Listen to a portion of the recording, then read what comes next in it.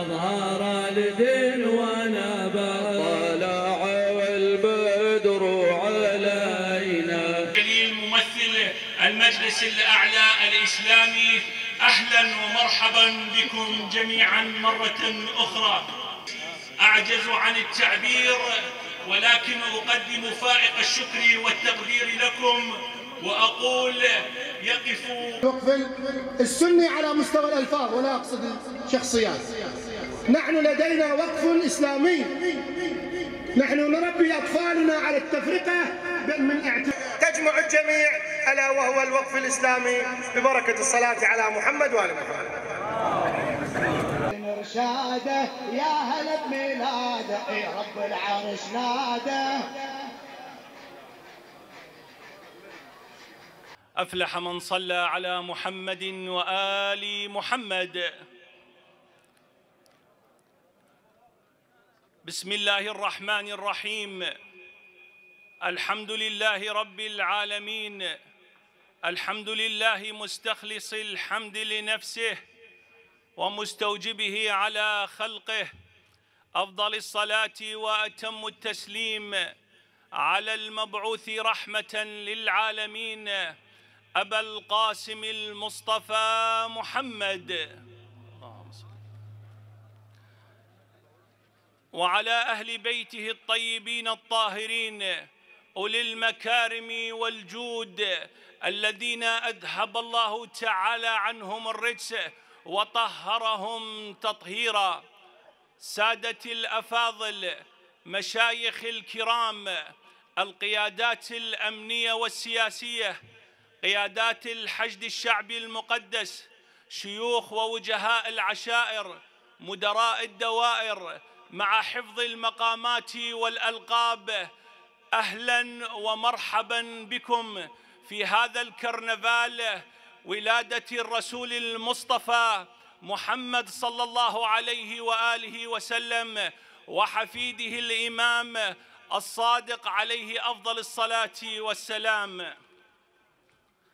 ربيعان في ربيع في زحمة الطريق وفي ظلمة الليل وفي تشابه الأمور وتضارب الآراء ووسط انحسار الأمل وقلة العمل بزغ نوران ساطعان ملأ الكون سرورا والأنفس صبورا وعاد الأمل إلى البشرية والتفاؤل إلى البرية.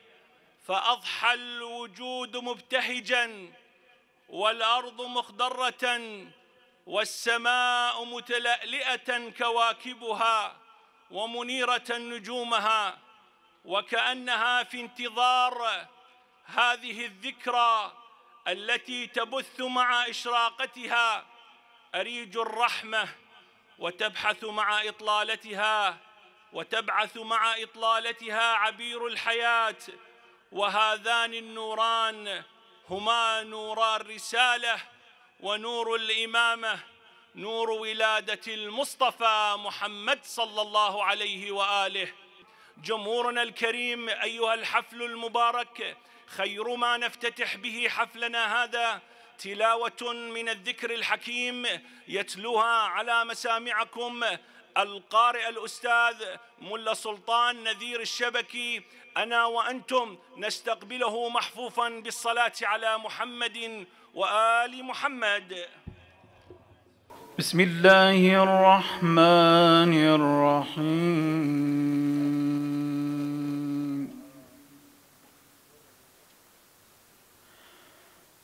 ما كان محمد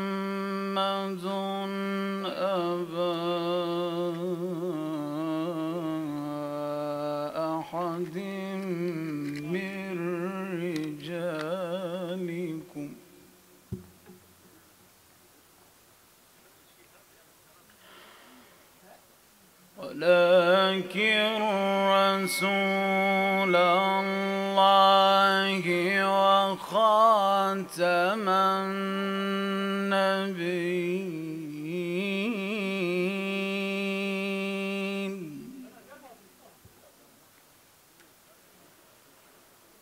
وكان الله بكل شيء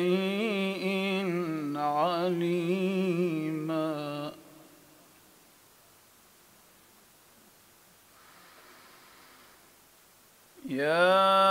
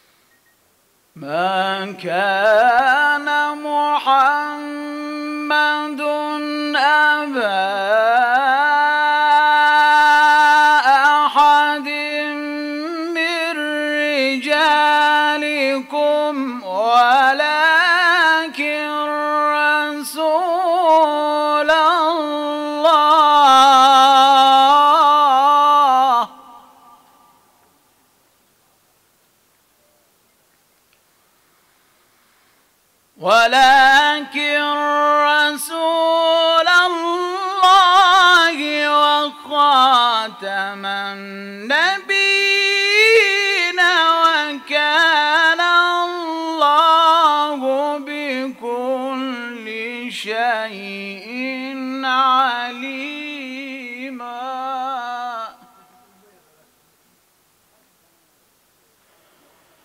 يا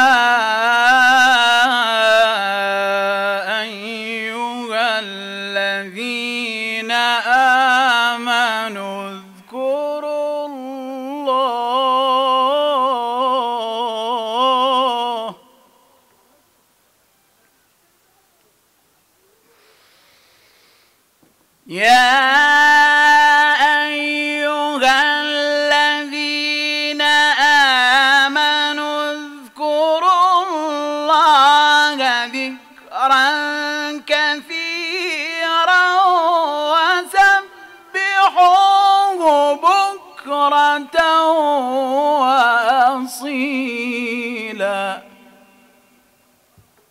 بسم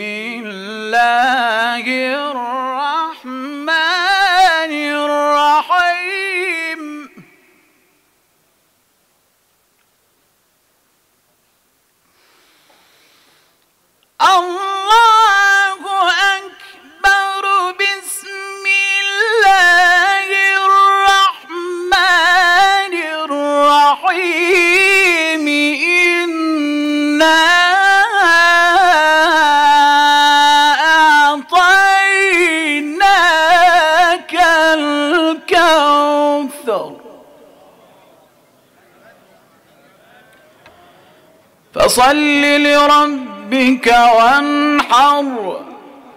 إن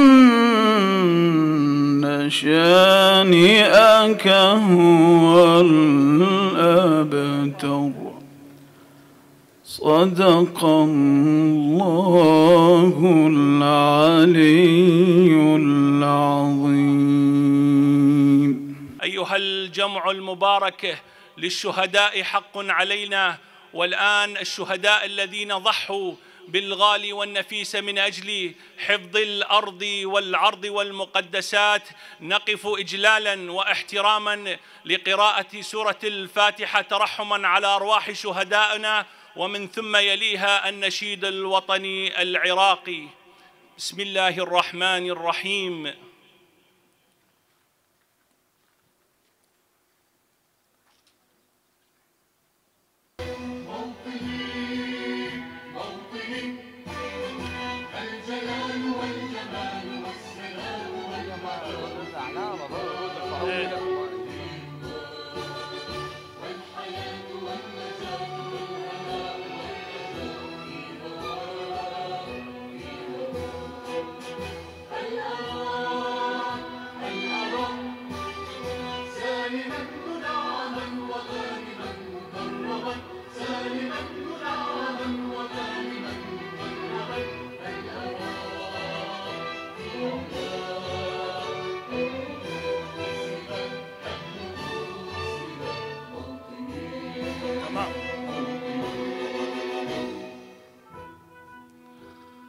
شكرا جزيلا لكم أيها الجمع المبارك وأرحب بكم مرة ثانية. أجمل الترحيب باسم مديرية الوقف الشيعي في نينوى.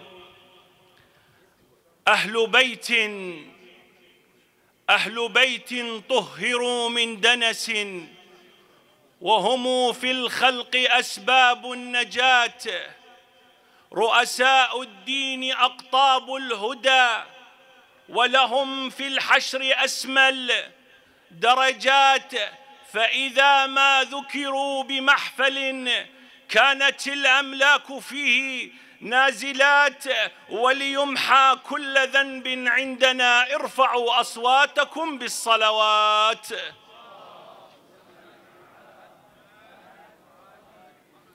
جمهورنا الكريم والآن مع كلمة مديرية الوقف الشيعي في نينوى يتفضل بإلقائها الأستاذ باسم البياتي مدير الوقف الشيعي في نينوى. أنا وأنتم نستقبله بالصلاة على محمد وآل محمد.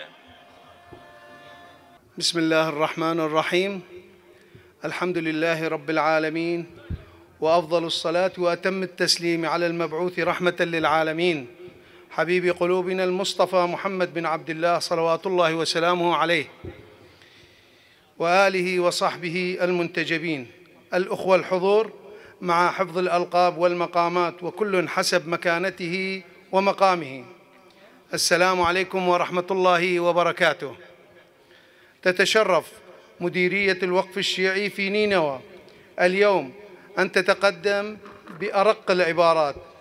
والتهنئة وأسمى كلمات الحب لمقام مولانا الإمام الحجة ومراجعنا العظام وعلى رأسهم سماحة السيد السستاني دام ظله الوارف وللأمة الإسلامية أجمع ولكم أيها الأحبة بمناسبة ولادة خير الأنام نبي الرحمة بقوله تعالى بسم الله الرحمن الرحيم وما أرسلناك إلا رحمة للعالمين. صدق الله العلي العظيم. وحفيده الإمام جعفر الصادق عليهم أفضل الصلاة والسلام. أيها الأخوة الأعزاء بداية نحمد الله الذي من علينا بنعمة الإسلام وهدانا بفضله لطريق الهداية الذي ننال به مرضاته ونفوز بجنانه وارسل لنا رسولنا هاديا ومبشرا ونذيرا ينير قلوبنا بنور الإيمان ويضيء الحياة بإشراقة شمس الإسلام. نجتمع اليوم في هذا المقام المبارك في مقام مولانا الإمام الرضا سلام الله عليه لنحيي ونحتفي بهذه المناسبة المباركة. ألا وهي ولادة الرسول الأكرم صلى الله عليه وآله وحفيده الإمام الصادق عليهم السلام أجمع. حيث منذ قرون مضت وفي السابع عشر من شهر ربيع الأول ولد خير البشر الذي قدر الله بيوم مولده إخراج الكون من الظلمات لأوسع طرق النور. عليه إخوتي الأعزاء علينا أن نتخذ من مبدأ رسول الله وآل بيته الأطهار وصحبه الغر الميامين وسيلة للثبات. على المبدأ ونشر روح المحبة والتسامح وتعاليم الإسلام الصحيح وإن الحديث عن رسول الله يطول ولا تكفيه الكلمات ولا العبارات. حيث إن مديرية الوقف الشيعي ارتأت في هذا اليوم المبارك أن تكون سباقة في إقامة هذا المحفل. ودعوتكم ودعوتكم وحضوركم شرف كبير لنا كمديرية الوقف الشيعي. أسأل الله العلي القدير لكم وللأمة الجمعاء أن يتقبل منا هذا العمل. وأن يعيد علينا هذه المناسبة وعراقنا بألف خير. والحمد لله رب العالمين. وهنيئا لكم إخوتي هذا الجمع وهذه الفرحة. والسلام عليكم ورحمة الله وبركاته. كل الشكر والتقدير للأستاذ باسم البياتي مدير الوقف الشيعي في نينوى على هذه الكلمة. بكم يا آل طه أنا مغرم. بكم يا آل طه. أنا مغرم وبحبكم بين الناس أنا أكرم. فإذا وقفت بمدحكم أترنموا صلى الجميع عليه وسلموا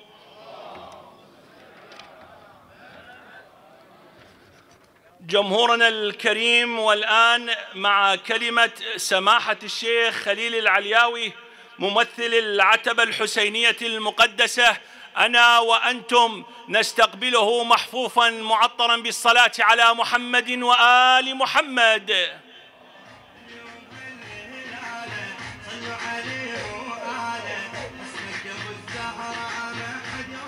بسم الله الرحمن الرحيم والحمد لله رب العالمين والصلاة والسلام على حبيب قلوبنا وطبيب نفوسنا أبي القاسم محمد وعلى آل بيته الطيبين الطاهرين.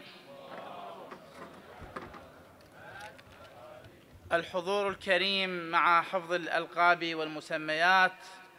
نقول لكم جميعا السلام عليكم ورحمة الله وبركاته.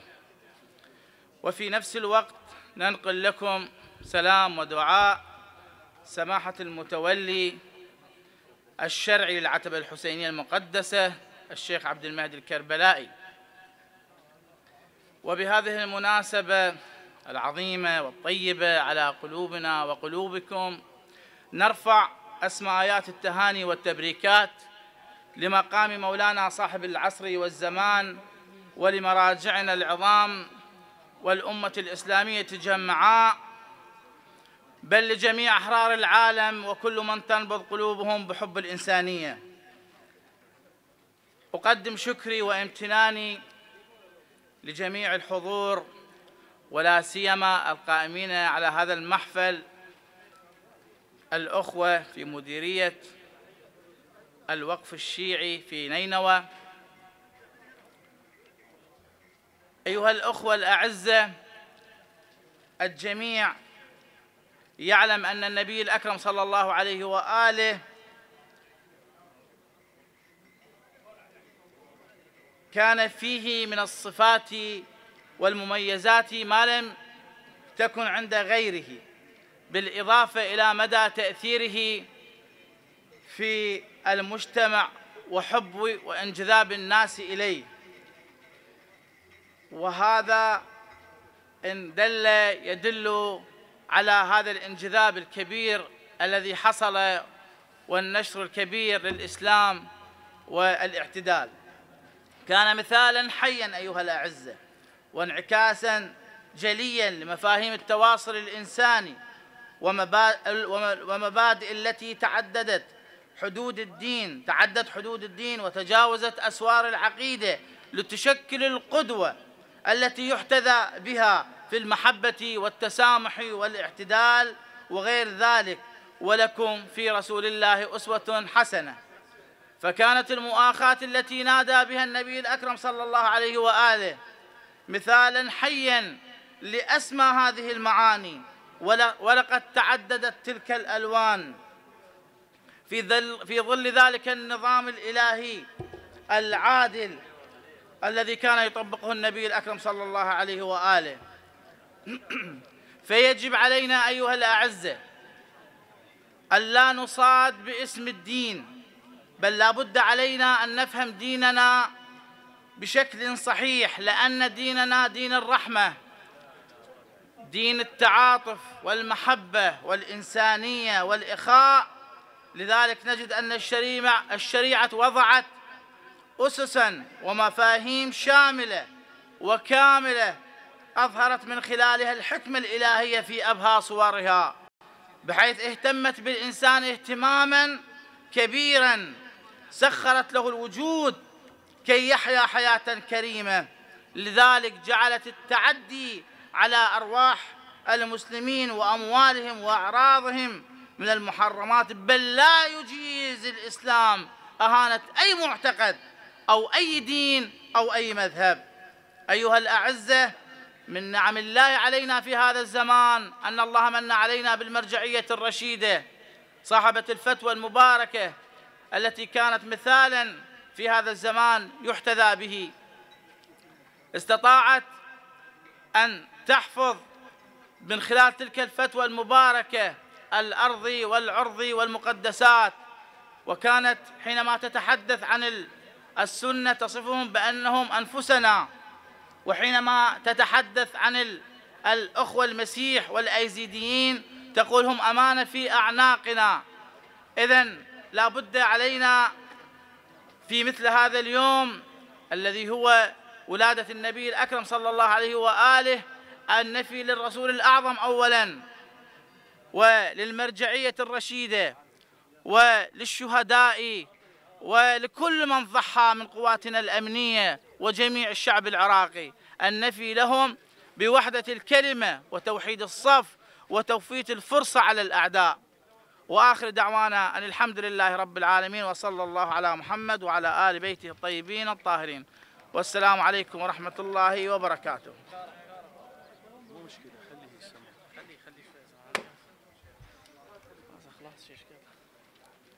ماكو كهرباء؟ لا لا زين شحن شكرا شكرا للعراق القال حب الوطن. كل الشكر والتقدير لممثل العتبة الحسينية المقدسة سماحة الشيخ خليل العلياوي على هذه الكلمة الرائعة المليئة بالمعاني والقيم. أسأل الله سبحانه وتعالى أن يجعلها في ميزان حسناتك. إنه سميع مجيب الدعاء.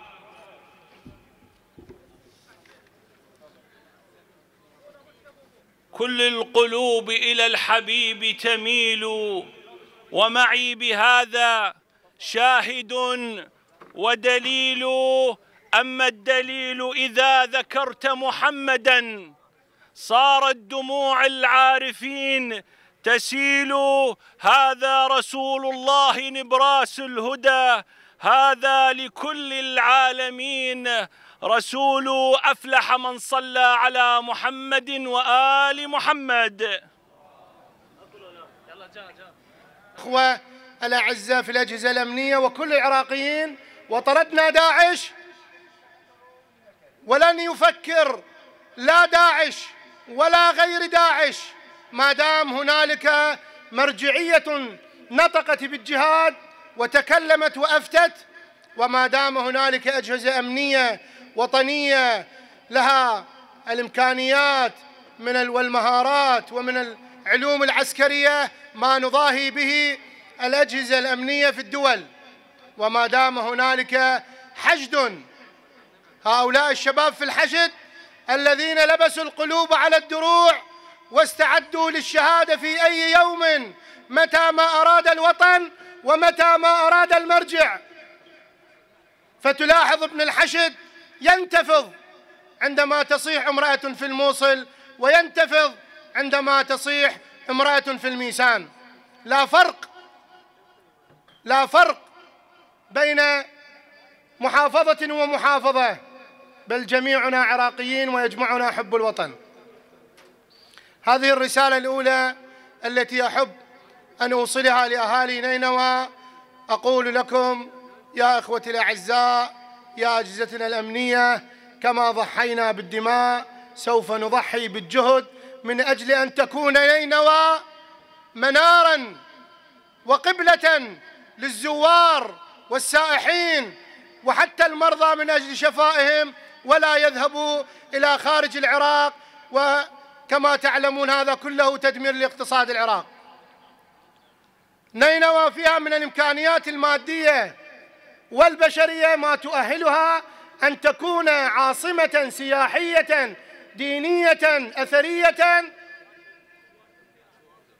نباهي بها كثير من الدول في العالم.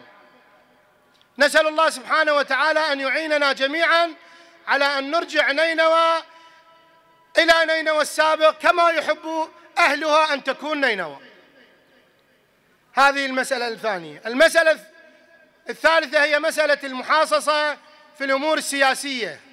أنا أطلب والجميع جالسين يجمعنا رسول الله صلى الله عليه وآله. فأنا أطلب من الجميع وخاصة أنا أيضا كنت طالب حوزة أطلب من الجميع أن يبادروا في كتابة مشروع من أجل إلغاء ما يسمى بالوقف الشيعي وما يسمى بالوقف السني على مستوى الألفاظ ولا أقصد الشخصيات. نحن لدينا وقف إسلامي. نحن نربي أطفالنا على التفرقة من اعتبار الأسماء أقولها وكل جرأة. أنا لا أخشى في الله لومة لائم. نعم أقول هذا داعشي ويربي ابني على كره داعش وأقول ذاك البعيد أمريكي وأربي أولادي على كره أمريكا وإسرائيل. ولكن عندما أقول هذا شيعي وهذا سني وهذا وقف شيعي وبابا هاي هاي جامع للسنة للصلي بيه وهاي جامع للحسينية للصلي بيها. فهذا تربية من باباني دكتوراه في الانثروبولوجي إنه إنه الأمور في التعليم تأتي من الصغر تأتي من المصطلحات تأتي من التعايش تأتي من الجلسات تأتي من السهرات. كل شيء في التنشئة الاجتماعية صحيح؟ فلنتفق جميعا.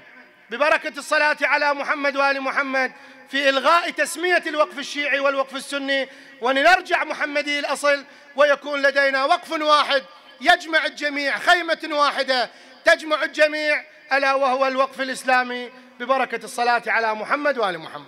السلام عليكم ورحمة الله وبركاته.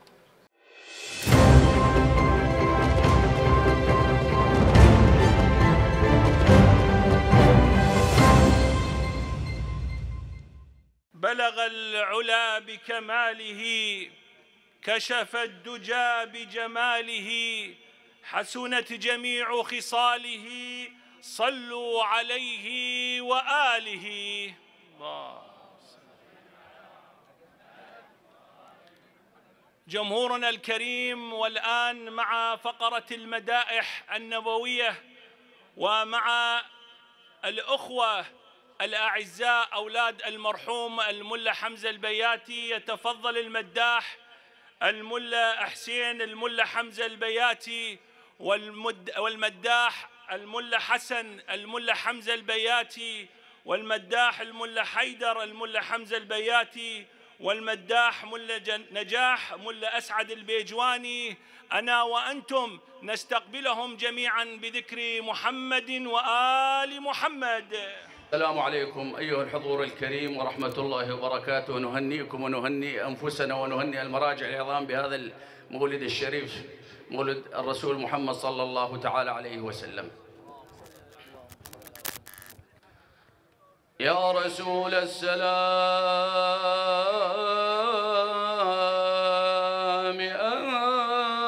أنت كتاب. انطيله صدى يا ولد. شوي ديرن ديرنا ذيك شوي ديرن يا رسول السلام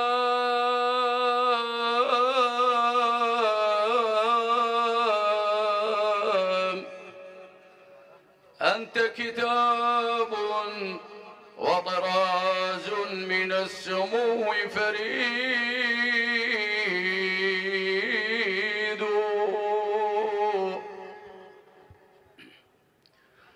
صنعة الله أخرجتك رسولا. إنما الله صانع ما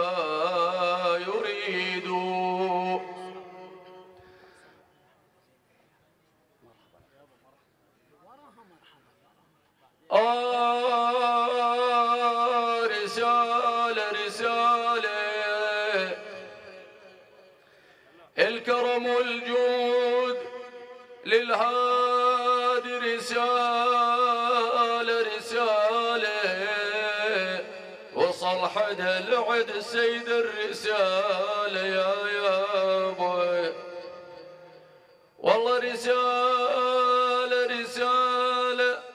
يا حاد العيس هاك وخذ مني رسالة رسالة. لابو الزهراء وصلنا التحية. مرحبا بك يا محمد مرحبا. مرحبا بمرحبا يا هلال نهلا في وادي قبا. أظهر الدين ونبا. مرحبا بك يا محمد مرحبا.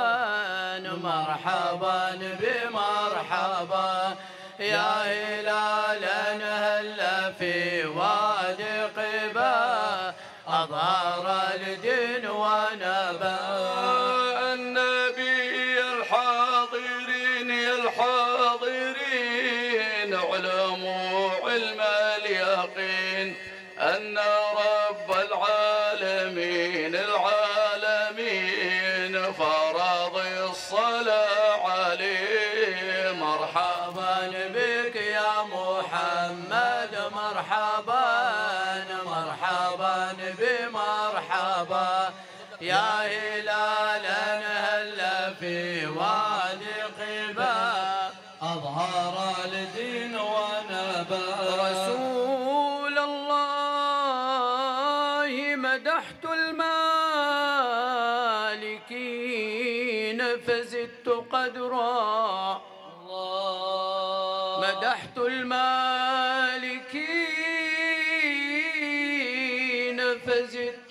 قدرا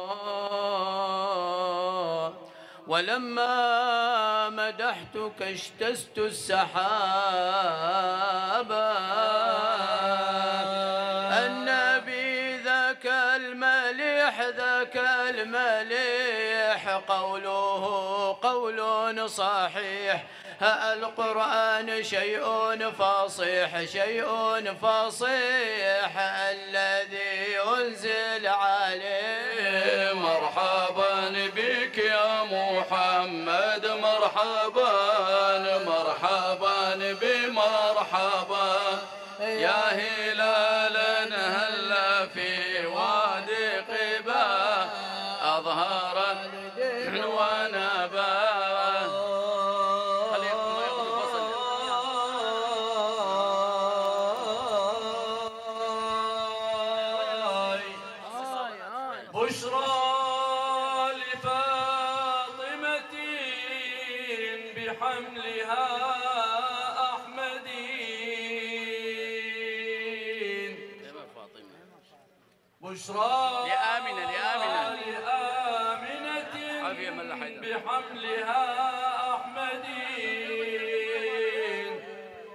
شرفا حملته من ذلك الميلاد.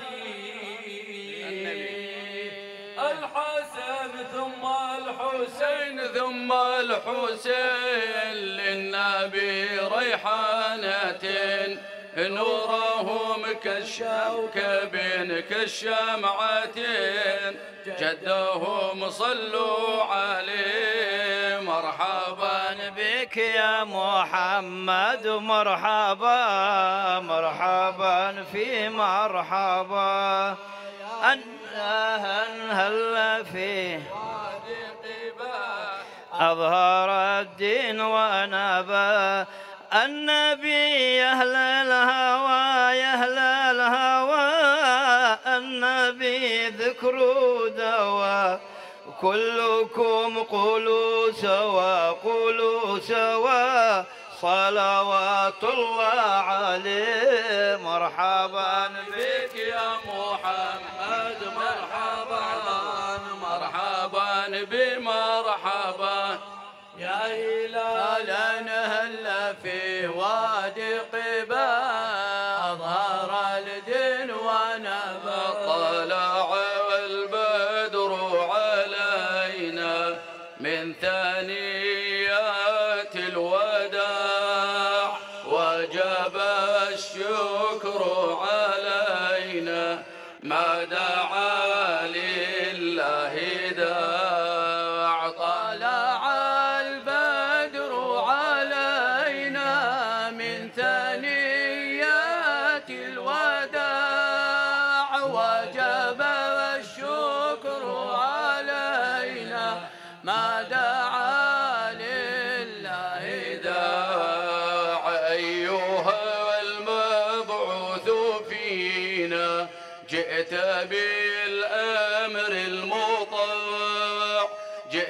شرفت المدينة ما دعا لله داع طلع البدر علينا من ثنيات الوداع وجب الشكر علينا. ما دعا لله دا وجب ما دعا لله داع أنت شمس أنت بدر أنت نور على نور. أنت مصباح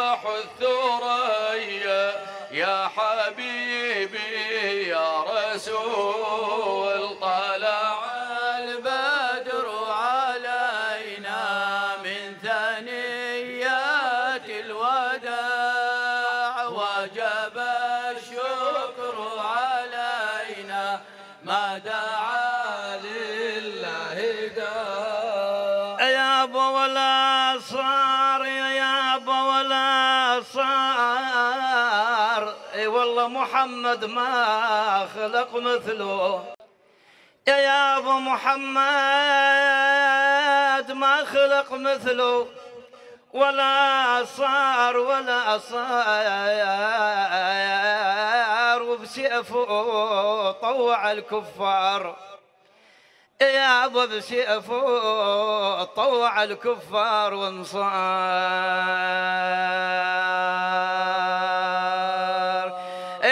ترى محمد قبل حرف الميم. يا يا أبو محمد قبل حرف الميم. هو صار التباشر فيه ملائكة السماء.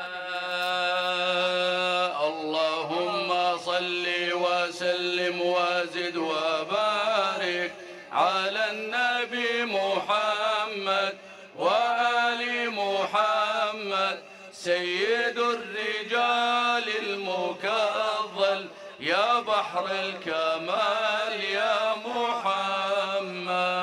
صلوا على محمد وآل محمد بأعلى أصواتكم تربحون. وآل محمد. بسم الله الرحمن الرحيم. الحمد لله رب العالمين. أبارك مولد منقذ البشرية رسول الله صلى الله عليه وآله.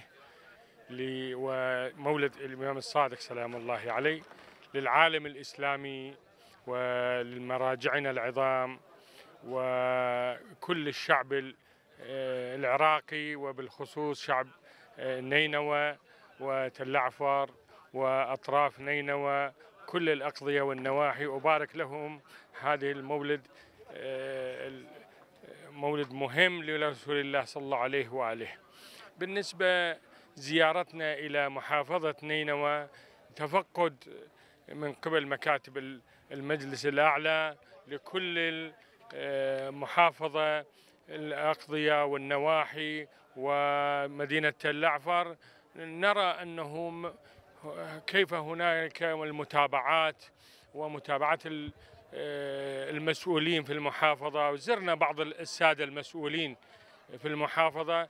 أمس كنا في مدينة كركوك زرنا السادة آه، مسؤولين في المحافظة وزرنا العشائر وزرنا بعض ال- العلماء آه، ممثل المرجعية النجف الأشرف زرناهم في مدينة كركوك وباشرنا زيارتنا في محافظة نينوى آه، مسؤولين في المحافظة والمحافظ وباقي المسؤولين والقائد الشرطة ومدير الصحة ومدير الجنسية نرى أنه هناك بعض الإخفاقات أو بعض ال- الأعمال إضافية إلى مدينة تل أعفار وإلى بعض الأقضية والنواحي نتابع هذا العمل.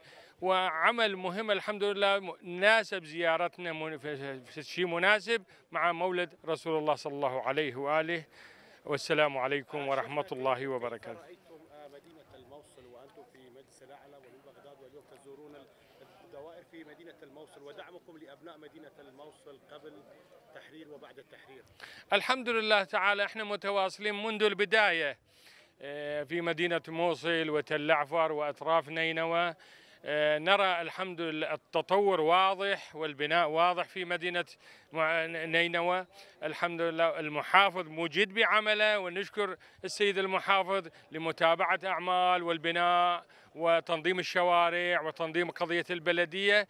نرى هناك إعمار كلش مهم في آه، محافظة نينوى. نأمل إن شاء الله من سيد المحافظ وباقي الأجهزة المحلية أنه يهتمون إلى أقضية والنواحي وبالخصوص مدينة تل هناك يحتاجون أنه قضية تنظيم الشوارع والبلدية وباقي التنظيمات والبناء لأنه آه، كان وجود داعش.